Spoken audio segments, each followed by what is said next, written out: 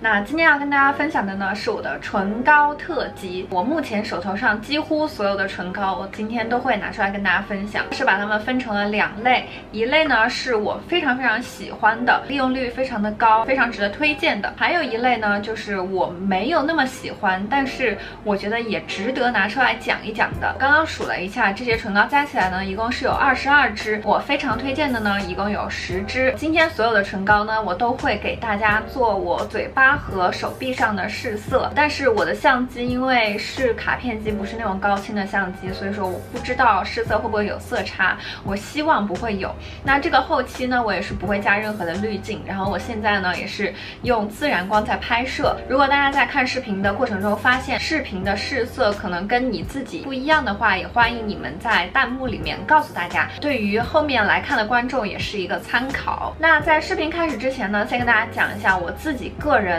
的一些肤况和我喜欢的唇色，黄一点五白吧，我觉得我肤色还是属于偏黄的。我现在回国之后好像有变白那么一些些，但是因为我以前也经历过就是晒的比较黑的肤色，所以说我今天要跟大家推荐的唇膏呢都是黄皮适用，而且非常显白的颜色。那以我自己个人的经验来说呢，我是觉得越深的唇色其实是越适合黄皮的，浅的那些比如说裸色系啊，或者是很粉嫩的那种。颜色我觉得反而是会显黑，所以说我自己个人比较偏爱的唇膏的颜色呢，是以红棕色啊、砖红色啊这一类色调为主。那如果你也喜欢的话，我觉得今天这个视频对你来说应该还是挺种草的。好，那我们就现在开始试色吧。第一个要跟大家分享的呢是 Sephora 自营品牌的这个唇釉，还蛮多人推荐过它的。我的这个色号呢是二十五号色，就是我现在嘴巴上的这个颜色。这个唇釉呢是我发小从澳大利亚给我带回来的，他说他当时逛街看到这个颜色就觉得我一定会喜欢。我只能说他太了解我了。这个唇釉应该算是我今天要跟大家分享我最喜欢的唇釉的 top three。首先它上嘴唇呢是非常轻薄的，它有点像那种水状的质地，然后显色度就。是一笔成型，嘴巴抿一抿，用手指涂匀，就是一个非常饱和的颜色。如果你在寻找一个不那么贵，但是显色度啊，各种使用感都非常好的话，我非常推荐这支唇釉。如果你关注我非常非常久的话，那你应该知道这支唇膏。这支是我在英国的时候就开始用，Smashbox 的 Out Loud。他家这个系列的唇釉，我是买了两支，一个是 Out Loud，还有一个是 Driver Seat。然后那个颜色呢，我也非常非常喜欢，但是我之前好像把它不知道扔到哪里去，然后盖子没有盖好，它里面就干掉了。但是如果在这两个颜色里面选出我最爱的一支的话，一定是这个 Out Loud。首先呢，它是一个这种砖红色，比起上一支丝芙兰的二十五号呢，这一支明显是更偏橘调一点，它也是非常非常显白的一个颜色。橘色的口红其实是不那么显白，比较显黑的，但是它这个呢，就是橘色跟红色混合的非常的好，上嘴的质地呢也是。非常的舒服的，而且它的持久度也是非常非常的不错。我觉得这支唇膏就是什么颜色的皮涂都好看。第三支唇膏呢，是我最近的一个新欢，就是 ColourPop 的这个 Ariba。这支唇膏呢，我之前观望了很久，因为它跟我自己特别喜欢的色系其实是有一点点偏差的，是一个带一点点蓝调的正红色。结果发现这个颜色特别显白，它的质地呢，其实是跟 Sephora 的这支有点像的，它们的质地都是偏水状的那种，但是这一个呢要更速干一些。它上脸就是一个完全的雾面哑光的一个妆感，它涂上。嘴之后，你的嘴唇就会成为你整个妆容的一个重心。你们现在看着我讲话，是不是觉得眼神就锁定在我的嘴巴上，无法移开的那种感觉？它就是那么的吸睛。我觉得它真的是一支黄皮可以入的唇膏，它不会给你一种攻击性很强，它反而是一种很复古、很有女人味的感觉，很哑光，然后完全不会转硬的那种。这支我也是超级喜欢。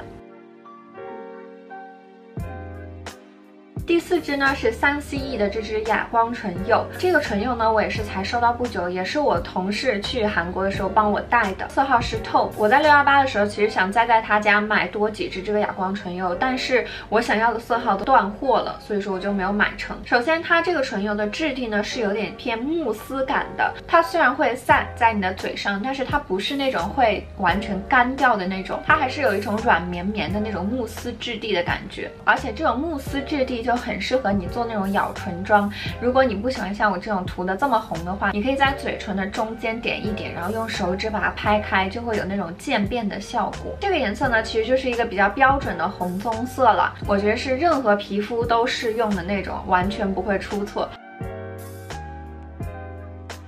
第五支唇膏呢是这个 Physicians Formula 的枸杞红，这支唇膏我也在我之前的视频里面分享过好多次了。那我最喜欢它的一点就是这个颜色很特别，红色，但是好像又带了那么一点点棕调，但是只有一点点，所以说你看的时候其实看不太出来。我有同事，他比我的肤色大概再深一个色号，我觉得这个颜色在他嘴上也很好看，所以说这个是对黄皮非常友好的一个颜色，但是它在质地上面呢就没有。前几款那么好，涂上之后是会把它抿开嘛？那抿开的过程中，它其实也是有点不均匀的。还有一个小小的缺点就是涂上嘴之后，比如说你吃完饭补擦的时候呢，它是有点容易结块的，就是它质地不是属于特别特别好的那种。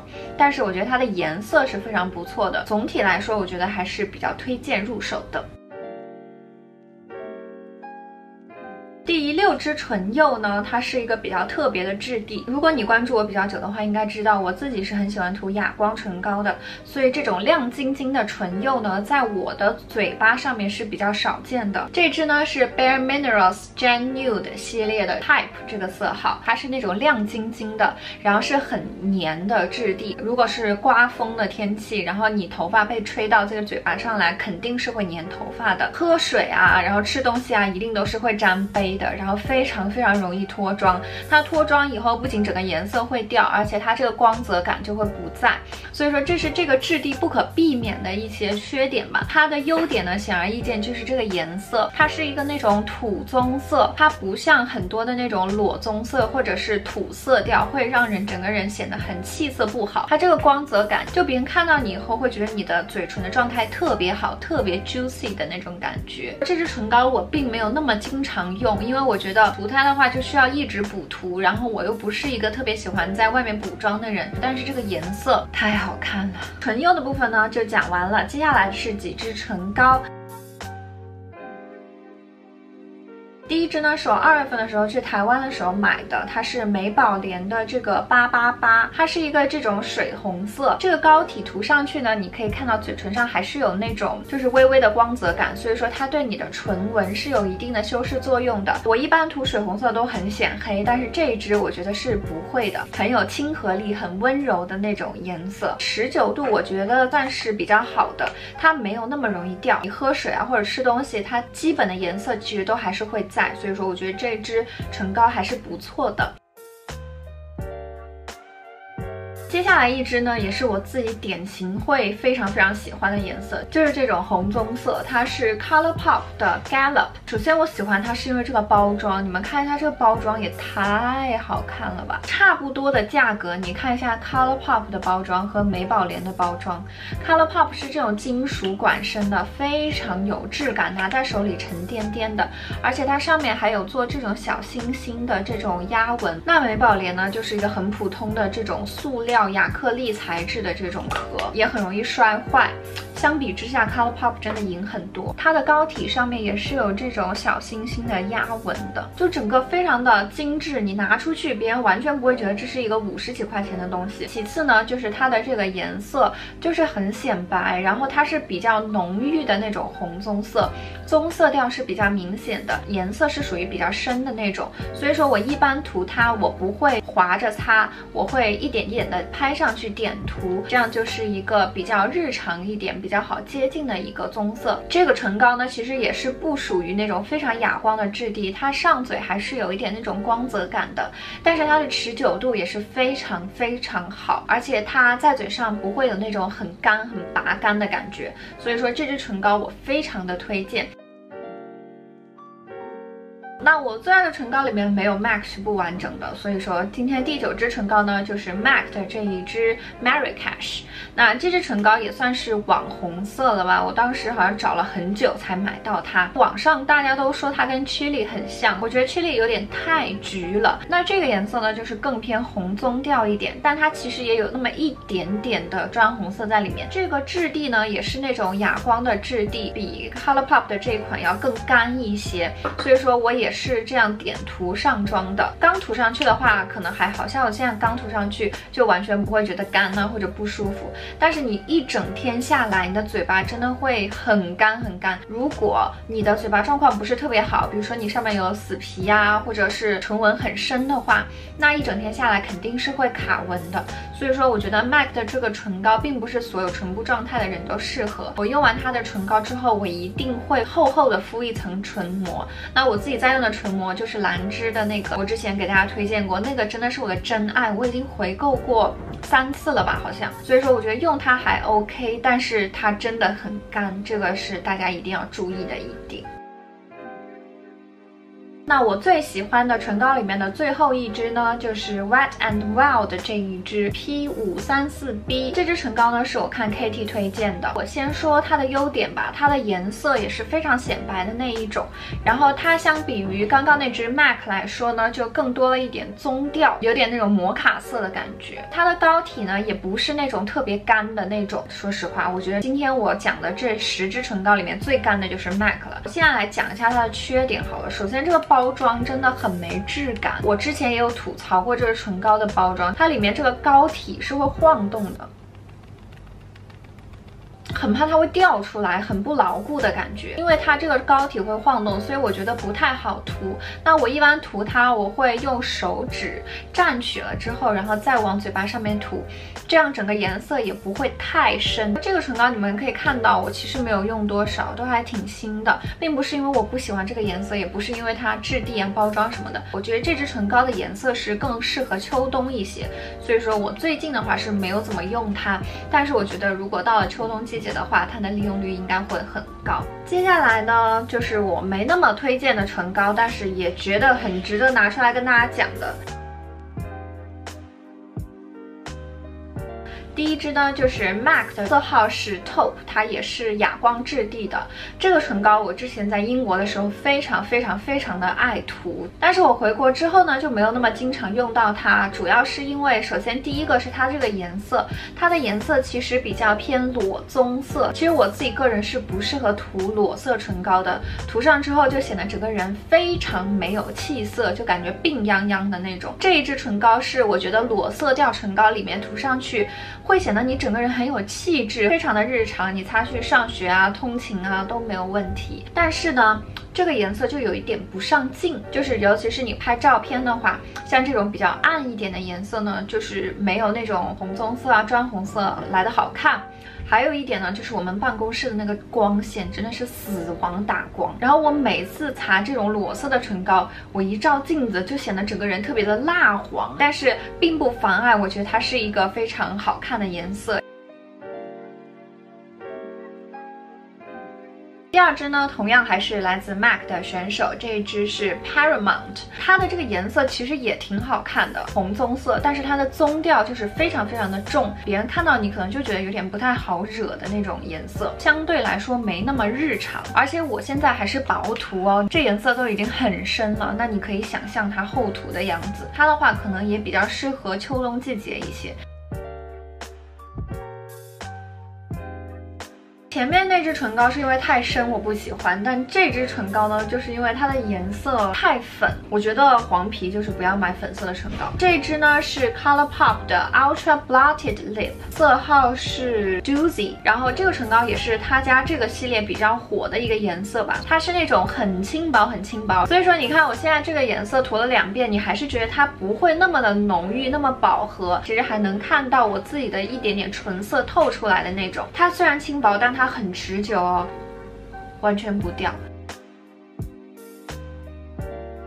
接下来一支呢是欧莱雅的这个小棕皮系列，这支唇膏呢是我跟美宝莲的那个八八八一起在台湾买的，当时我还找了很多家屈臣氏和康诗美才找到这个色号。当时我是在手上试色嘛，然后觉得这个颜色就是写着我的名字，你知道吗？非常非常的好看的一个红棕色，它还是有一点点光泽在的，不会完全的 set 在你的嘴巴上，所以说你在讲话呀，还有你在抿嘴巴的时候。它会在你的嘴巴上面移动，近看的话其实是会有一点颜色不均的现象，所以说这个质地呢我没有特别的喜欢，但是这个颜色我觉得是可以买，很典型的那种显白的颜色。接下来一支唇膏呢，是我买了很久，但是从来没有跟大家推荐过，也从来没有跟大家分享过的一支唇膏。这个是 elf 的一个唇油，我都不知道这个唇油现在还有没有卖。它的优点可能就是唇部状态看起来很好，仔细去看我的嘴巴的话，会觉得那个唇纹淡了很多，它会给你嘴巴那种亮晶晶的感觉。但是你看这种浅色的唇膏是不是就很显黑，暗了一个色号的感觉？叠擦在哑光唇膏上的话，我就觉得没必要啊，因为我。自己还蛮喜欢那种哑光的妆感的。哑光唇釉界的鼻祖，它是这个 Kat Von D 的哑光唇釉。他家这个哑光唇釉呢，我一共买了两支，呃，一个是 Lolita Two，还有一个是 Double Dare。我觉得现在好像都没有什么人在讲他家这个哑光唇釉了，当年是多么的火啊。现在的话，我其实基本都不怎么用到这两支唇釉了，我也不知道是为什么。其实我今天涂的话，我觉得这个颜色还是挺好看的，它是有一点点带橘棕调的感觉。刚涂上的时候，我觉得是有点。点荧光色的变哑光之后就变得多了一点点那种棕调，反正我觉得还挺好看的。它的缺点是它有点粘嘴巴，我这段时间应该要多用一下它。这个颜色其实还挺好看的。第二支呢，就是 Kat Von D 的这个 Double Dare，然后这个呢是我的第二支 Double Dare。我的第一支 Double Dare 是我当年在英国还是法国的时候买的，我带来广州之后就弄丢了，呃，然后我特意让我的朋友又帮我带了一支全新的回来，结果。再涂上它，就再也不是当初的那种感觉了，你知道吗？现在再看它，就是一个荧光粉色，不懂我当时为什么那么喜欢它。这应该是我唯一一支买过两次的唇膏，怎么变成这个颜色了？我觉得对于黄皮来说是个雷，能不买就尽量别买。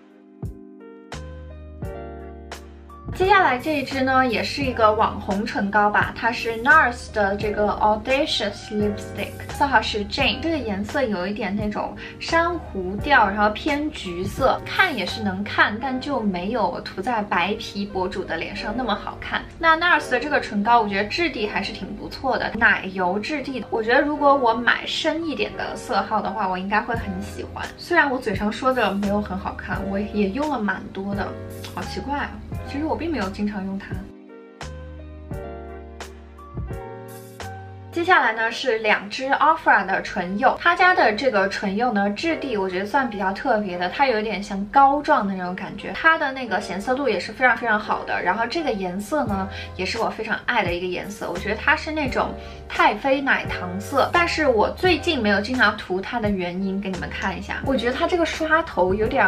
掉毛，就是这个刷头被我越用越秃，越用越秃。不过我这个是他们这个老包装，我不知道新包装是不是它这个刷头和这个管身的质量会好一点。看到它我就觉得不想用。不过除此之外的话，Americano 这个颜色我自己还是很喜欢的，而且他家的唇釉有一股那种巧克力糖的味道嘛，反正就是一种甜甜的可以吃的东西的那种味道。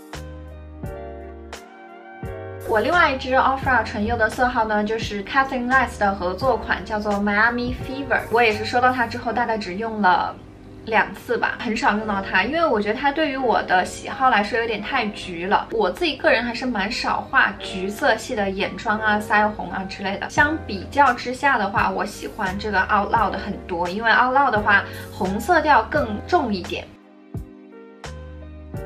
本次视频的最后两支唇膏呢，是 NYX 的这个哑光唇釉。我嘴上的这个色号呢是十七号色，我记得叫做 Seduction 裸棕色。同样是因为我们办公室的那种死亡打光，所以说每次涂上它都会觉得很没气色。但其实你真人看还好，在相机里应该也还 OK 吧，就不会说特别显白，但。